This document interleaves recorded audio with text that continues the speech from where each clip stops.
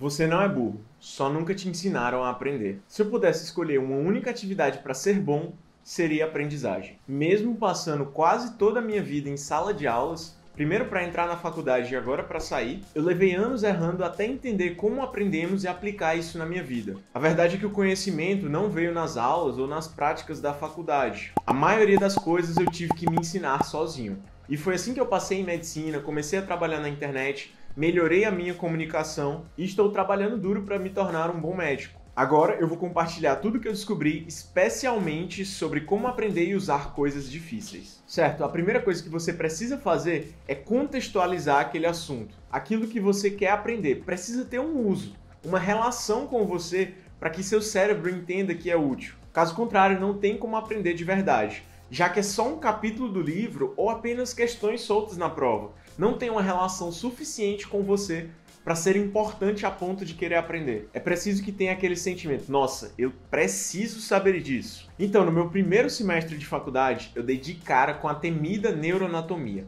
Uma matéria difícil, mas que eu subestimei e eu achei que ia ser moleza.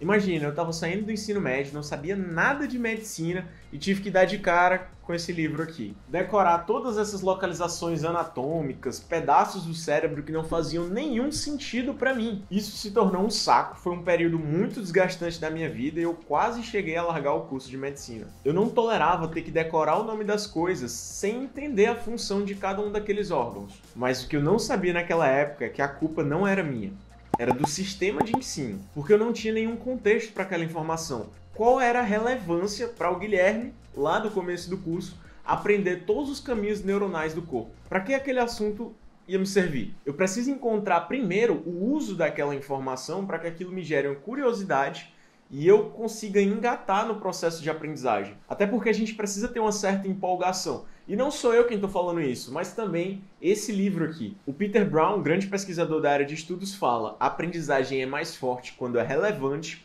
quando o abstrato se torna concreto e pessoal. E o Richard Feynman, prêmio Nobel da Física, um dos melhores professores da história, gostava de aprender as coisas observando o mundo ao seu redor. Inclusive, ele falava muito que as pessoas têm uma curiosidade inata em entender como que o mundo funciona. Por isso que quando for estudar algo difícil, é bom você tentar associar aquilo com a prática, com o uso daquele tema. Ou quando não for possível encontrar uma aplicabilidade óbvia para elevar o nosso grau de emoção com aquele assunto, de vontade de aprender, você pode utilizar questões. Então, no meio do livro do Ângelo Machado, ele traz um caso inédito na medicina, o famoso caso de Phineas Gage. Ele era um trabalhador ferroviário lá dos Estados Unidos e uma pessoa conhecida por ser bem educada, uma pessoa muito agradável para sua família e todos ao seu redor. Até um dia que teve uma explosão no seu trabalho e simplesmente uma barra de ferro atravessou o seu crânio, destruindo completamente o seu lobo frontal, a região do cérebro que fica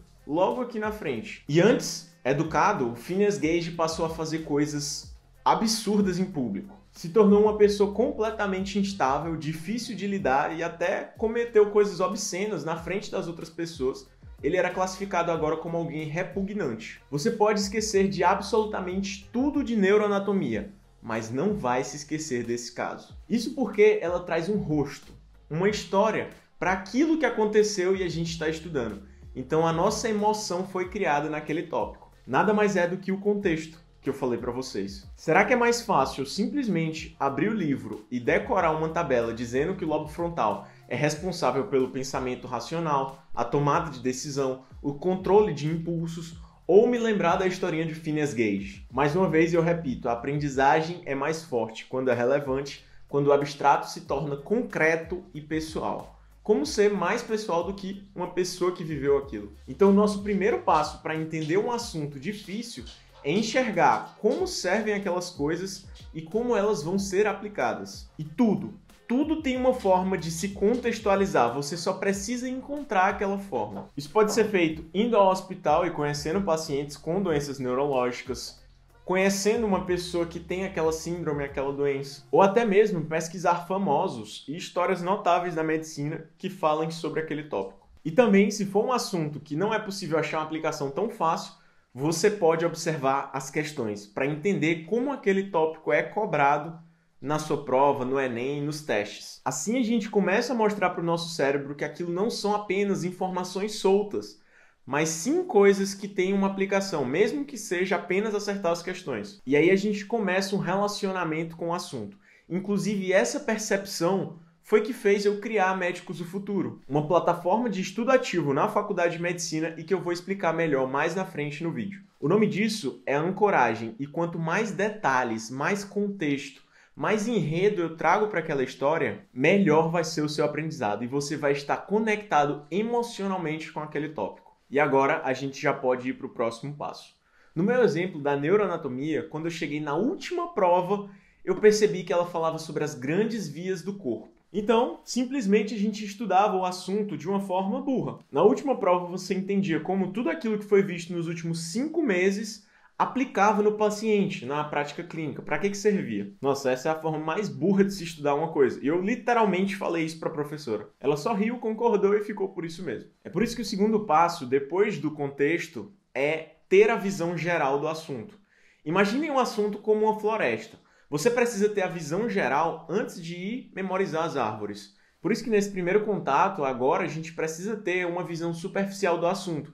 Eu gosto de fazer isso assistindo uma aula rápida, vendo um resumo sobre o tema. De que, que adianta eu assistir uma aula de duas horas, uma aula mega aprofundada, e agora eu falo especificamente dos cursinhos, videoaulas e livros. É melhor eu pegar primeiro um material mais resumido, mais básico, para depois aprender os detalhes. E o pior é que a maioria das pessoas não fazem assim e nem tem a menor ideia de que isso funcione. E pior ainda, os professores da faculdade, eles sempre vão dizer: ah, o assunto só é bem estudado se você for lá no livro texto original, o criador de todas as teorias. Ah, é? Pois espera bem, que eu vou mostrar para vocês aqui um pequeno livro de medicina. Isso aqui é o Harris. Isso aqui é o volume 1 de 2. Esse livro tem 4 mil páginas. Juntando os dois volumes dá quase 10 mil páginas. É, ficou todo bagunçado meu cenário aqui agora. Então imagina você ser um iniciante, abrir esse livro de 10 mil páginas. Seu cérebro vai fritar instantaneamente. Não tem como entender. Faço isso porque eu já vi esse livro. Então, nesse primeiro momento, eu não tenho que aprender as coisas, eu só preciso passar a vista. Inclusive, se tiver algo decoreba e muito difícil, você pode até pular nesse primeiro momento, porque a gente vai precisar voltar depois no assunto. E uma vez que a gente teve a visão geral, é preciso ver como que o assunto é aplicado de verdade. E eu sei que nem sempre as provas vão cobrar só o que é importante lá na prática, o que a gente vai precisar lá na frente, mas as questões são um bom direcionamento e na maioria das vezes são as partes mais importantes de um assunto, sim. Foi feito um estudo que descobriu que 80% dos estudantes estudam apenas lendo e relendo os livros, sendo que essa é simplesmente a pior forma de se estudar.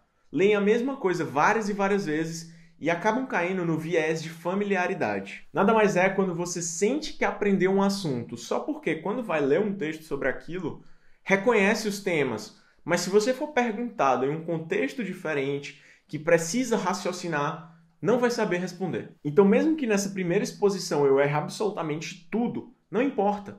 Aquelas perguntas vão me mostrar o que realmente é importante e o que eu tenho que de fato memorizar do livro. Além dos 10%, 15% do assunto que eu preciso reter para o longo prazo. E a construção do aprendizado funciona quando a gente responde questões, volta no livro, vai na aula para aprender e essas coisas se interligam, virando um ciclo. Isso é muito importante porque você une as coisas e começa a enxergar o livro e as questões como uma coisa só. A teoria e a prática. Tudo que eu falo aqui serve também para outros tipos de aprendizagem. E vai sim ser desafiador lembrar das respostas. Só que quanto mais difícil você lembrar de uma coisa, quanto mais você se esforça, a aprendizagem fica mais forte e perdura por muito mais tempo.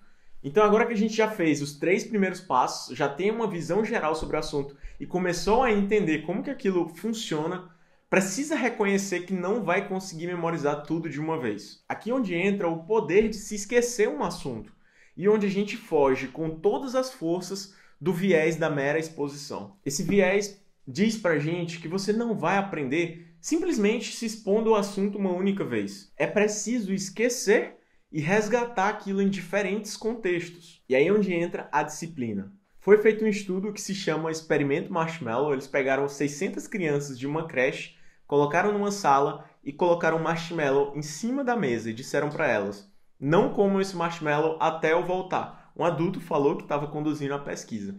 Então os adultos saíam, passavam 15 minutos fora e voltavam. Se ela não tivesse comido marshmallow, ela ganharia dois marshmallows. E somente um terço dessas crianças guardou seu marshmallow para quando as pessoas voltaram e elas ganharam a sua recompensa. E os pesquisadores acompanharam essas crianças durante praticamente toda a vida delas. Foi observado que no futuro as crianças que guardaram marshmallow para depois tiveram carreiras bem-sucedidas, um maior desempenho acadêmico e basicamente foram melhores em todas as áreas da vida. Esse experimento mostra que o nosso sucesso será determinado em algum grau pela nossa genética, mas muito mais em um grau até surpreendente para os pesquisadores pelo foco e nossa autodisciplina. Isso tudo pode ser treinado, e é aí onde entra o que eu quero falar para vocês aqui. Você precisa treinar o seu foco para o aprendizado fluir e ter a disciplina para repetir sua exposição com o assunto várias e várias vezes, sempre na intenção de aprender aquele conteúdo, se colocando numa situação desconfortável, onde você é testado, onde você precisa fazer aquilo, colocar em prática, errar. Só assim a gente consegue progredir. E se você é estudante de medicina e se identificou com essa forma de aprendizado que eu falei ao longo do vídeo, você precisa conhecer a Médicos do Futuro. Essa foi uma plataforma que a gente criou para que o estudante de medicina consiga aprender de uma forma muito mais inteligente e até lógica na realidade. Nós começamos com 5 mil questões comentadas sobre todos os temas dos dois primeiros anos da faculdade de medicina. E além disso, estamos lançando atualizações toda semana. Quem já começou a utilizar a nossa plataforma está amando e já são mais de 250 assinantes que passaram pelo nosso sistema e eles conseguiram mudar a forma como aprendem, passaram a tirar notas melhores e reter muito mais conhecimento. A partir de toda essa minha experiência com aprendizado, eu vi que existia uma forma melhor de se aprender. E isso é entendendo como que as coisas são necessárias na prática médica e nas provas de residência desde o começo do curso, ao invés da forma como nos ensinam normalmente. Então, em absolutamente todos os comentários das nossas questões, a gente explica o conteúdo e mostra a importância de entender o tópico que está sendo estudado, para que, que aquilo vai ser importante na medicina? Vale a pena testar e ver se funciona para vocês. Se não gostar, é só pedir o reembolso que ele vai ser feito sem nenhuma burocracia. Eu vou deixar um link na descrição desse vídeo. Meu cupom é Gui Miranda. Se você assinar usando esse cupom, vai ganhar 10% de desconto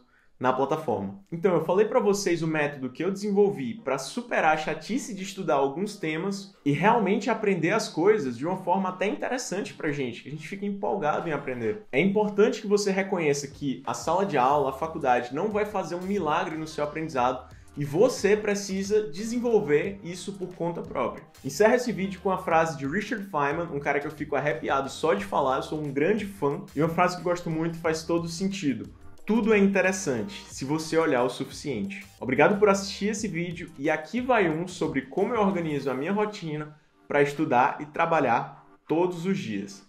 Clica aqui para assistir, eu te vejo lá.